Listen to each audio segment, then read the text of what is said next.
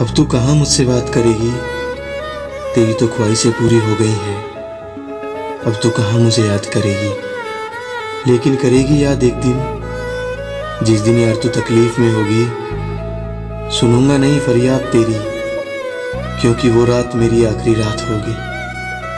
बेशक तेरी आँखों से आँसू आए और तू रोएगी तू गिड़गिड़ाएगी, लेकिन तुझे देखने के लिए मेरी आँखें कभी खुल ना पाएँगी। होंगी बंद हमेशा के लिए फिर शायद कभी खुल ना पाएँगी।